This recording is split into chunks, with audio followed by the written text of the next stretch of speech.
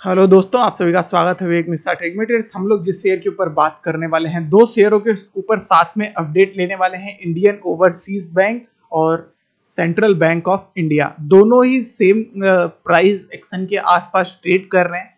दोनों का अभी हम लोग समझते हैं फाइनेंशियल कंडीशन अभी कैसी है, पूरा अपडेट लेते हैं, चार्ट चेक लेते हैं। वीडियो को शुरू से अंत तक देखिएगा, दोनों का कंपैरिजन भी करेंगे। और जो लेटेस्ट न्यूज़ चल रही है, क्योंकि दोनों की न्यूज़ दोनों शेयरों से रिलेटेड एक ही न्यूज़ है तो इसलिए मैं सोचा कि दोनों को साथ में ही डिस्कस कर लेते हैं, जिससे कि दोनों पे संपूर्ण रूप से बात हो पाएगी। तो वीडियो शुरू से अंत तक देखिएगा, कोई पार्ट मिस मत करिएगा। सबसे पहले हम लोग फाइनेंशियल कंडीशन डिस्कस कर लेंगे, फिर उसके बाद प्राइस एक्शन पे सबसे पहले डिस्कस होगा, फिर फाइनेंशियल कंडीशन पे, फिर लास्ट में चार्ट चेक होगा। तो जिन लोगों को सिर्फ़ चार्ट चार्ट रिव्यू चाहिए कि कहाँ पे बाई करना है, कहाँ पोजीशन लेना है, वो सब समझना है तो डायरेक्ट आप लास्ट वाला पार्ट देख सकते हैं। जो चैनल पे नए हो चैनल सब्सक्राइब कर लें नोटिफिकेशन बेल जो प्रेस करें ताकि आने वाले नेक्स्ट अपडेट आपसे मिस ना हो, आप टेलीग्राम पे भी ज्वाइन कर सकते हैं, उसका लिंक आपको डिस्क्रिप्शन में मिल जाएगा। देखिए सबसे पहले आईओबी के बारे में मैं बताऊँ आपको तो हम लोगों ने इसकी रैली पकड़ लिया था उन्नीस रुपये तीस पैसे पे, और अभी ये जो शेयर है, वो twenty six rupees forty five पैसे के आसपास बन के चल रहा है। अच्छी खासी कंडीशन है तो अभी भी देखिए, मौका तो मैंने आप लोगों को बीच में जब twenty one rupees eighty five पैसे पे था, तब भी एंट्री लेने को बोला। जब नाइनटीन रुपीज़ थर्टी पैसे पे था, तब भी बोला कि आप इसमें एंट्री ले लीजिए। एक टाइम आएगा जब ये एंट्री लेवल से निकल जाएगा, तब तब प्रॉफिट बुकिंग वाले पोजीशन में अगर आप एंट्री लेंगे तो फंसने वाला काम करेंगे। देखिए, हर कोई शेयर ऐसा ही है। एक हर कोई शेयर बुरा भी है, हर कोई शेयर अच्छा है। बस आपका एंट्री लेवल डिपेंड करता है कि आप उसको अच्छे पे खरीदे हैं या आप उसको बुरे पे खरीदे। तो देखिए, यही सेम चीज़ है। अभी ऐसे जोन से अगर ये जितना ज़्यादा ऊपर चला जाएगा प्रॉफिट बुकिंग के चांसेस उतने ज़्यादा हाई बन जाएँगे। इन्वेस्टमेंट काफ़ी कम कम आने लगे, क्योंकि अभी लोग, बड़े लोग बहुत तगड़ी इन्वेस्टमेंट कर रहे हैं। तो आने वाले टाइम पे वही रिटेल इन्वेस्टर वाली बात है। फिर आप अगर ऊपर पे बाई करेंगे तो फिर तो डाउनफॉल के लिए आपको ही, बस आपको ही वेट करना पड़ेगा। तो अभी देखते हैं कैसी करंट कंडीशन चल रही है। और सेंट्रल बैंक का भी सेम सत्रह रुपये पंचानवे पैसे तो इसको मैंने काफ़ी लंबे टाइम से डिस्कस नहीं किया, पर हाँ कंडीशन हमेशा आपको मैंने, जैसे कि क्वार्टर थ्री के नतीजे आए थे, तभी कहा था कि बाई करिए इसको। फोर्टीन रुपीज़ एटी पैसे के पास था, फिर अभी देखिए 26 पे ट्रेड करा, फिर सेवनटीन रुपीज़ नाइन्टी फाइव पैसे पे तो हर दो महीने में मैंने डिस्कस किया है और वापस वापस से इसको हम लोग अभी डिस्कस करने वाले हैं, कैसा चल रहा है।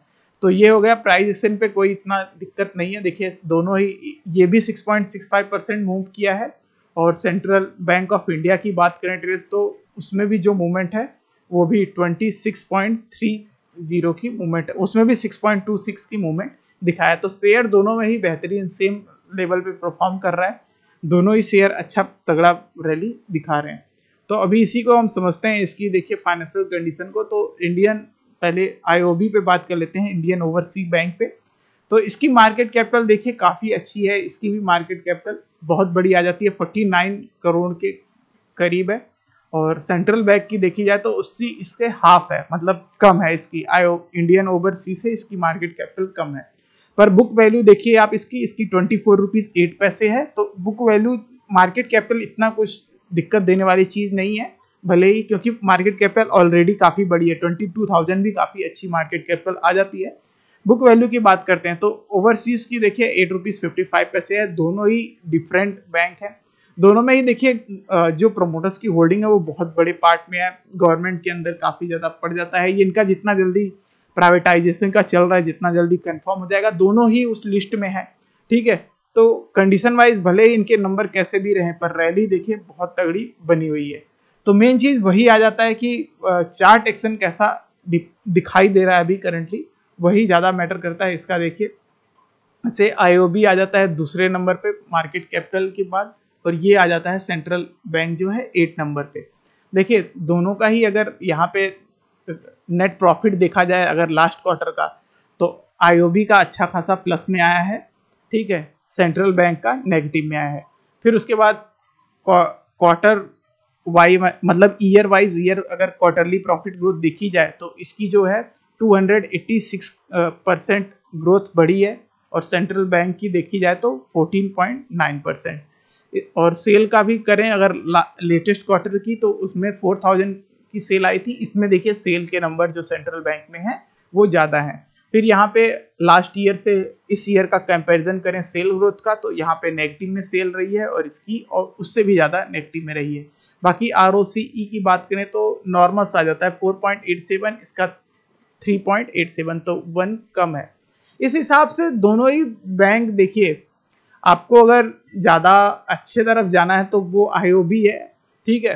पर अगर आपकी सही जगह, वही मेन बात आ जाती है, अगर आपके इन्वेस्टमेंट अगर सही जगह है तो कोई दिक्कत नहीं है, चाहे आप सेंट्रल बैंक में होल्ड करके अभी चल रहे हैं, चाहे आईओबी में होल्ड करके चल रहे हैं। चलिए अब वो न्यूज़ जान लेते हैं, फिर उसके बाद मैं चार्ट पे आपको बताता हूँ। तो देखिए, दोनों का ही जो न्यूज़ आया है, देखिए, यहाँ पे आईओबी और सेंट्रल बैंक दोनों एक साथ नहीं है।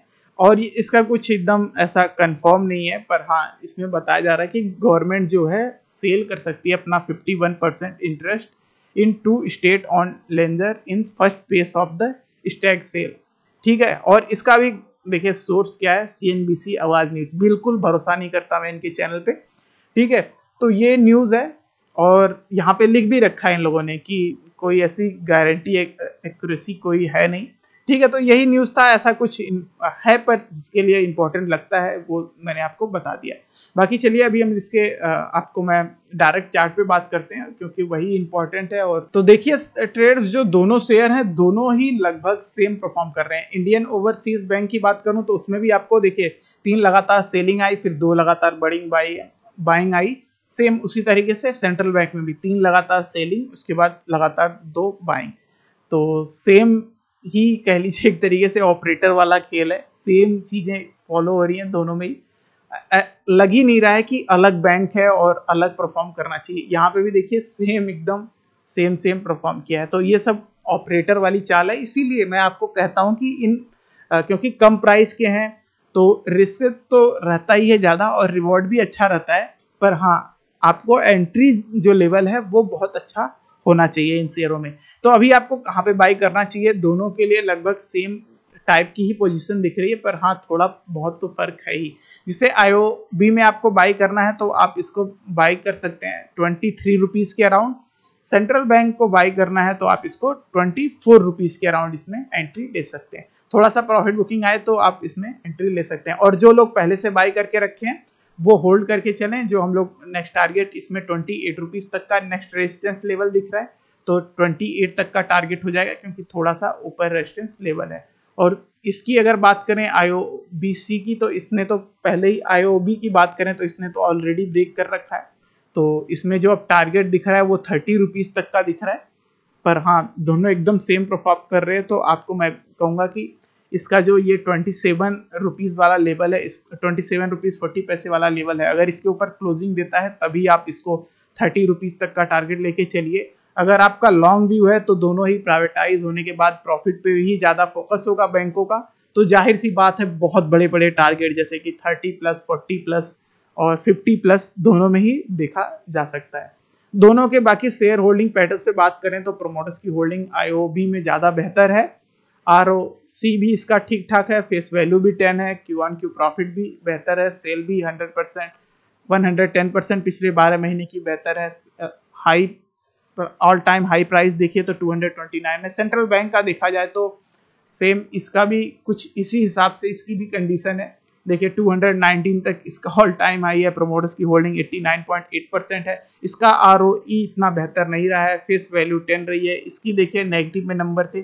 पर सेल जो परफॉर्मेंस है चार्ट वाइज में, दोनों सेम कर रहे हैं। सेम ऑपरेटर द्वारा दोनों घुमाए जा रहे हैं इसलिए। तो यही था लेटेस्ट अपडेट आईओबी इन दोनों में अगर एक चूज़ करना हो तो आईओबी थोड़ा मार्केट कैपिटल और परफॉर्मेंस में ठीक दिख रहा है। पर बुक वैल्यू की बात करें तो उससे उससे सेंट्रल बैंक भी आ जाता है। तो अगर एक चुनना हो तो आईओबी ज़्यादा मुझे अभी ठीक लग रहा है। दोनों ही बेहतर परफॉर्म कर रहे हैं। आप इसमें से दोनों में जिसमें अच्छा लगे उसमें इन्वेस्टमेंट कर सकते हैं या दोनों में ही इन्वेस्टमेंट कर सकते हैं। दोनों ही ठीक परफॉर्म कर रहे हैं। थोड़ा थोड़ा दोनों में अगर आप इन्वेस्टमेंट करेंगे तो ज़्यादा बेहतर रहेगा। Thanks for watching this video मिलते हैं आपको नेक्स्ट ईयर के साथ नेक्स्ट वीडियो